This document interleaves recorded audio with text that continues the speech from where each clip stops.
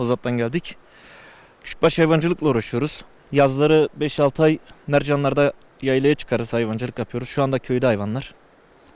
E, Mayıs aylarında falan yoğunluk başlıyor.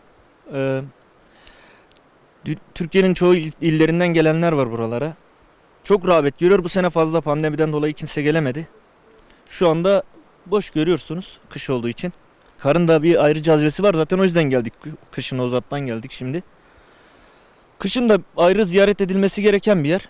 Fakat şu anda biliyorsunuz tadilat çalışmaları var. Daha bitmedi. Bittikten sonra rağbet göreceğini düşünüyoruz.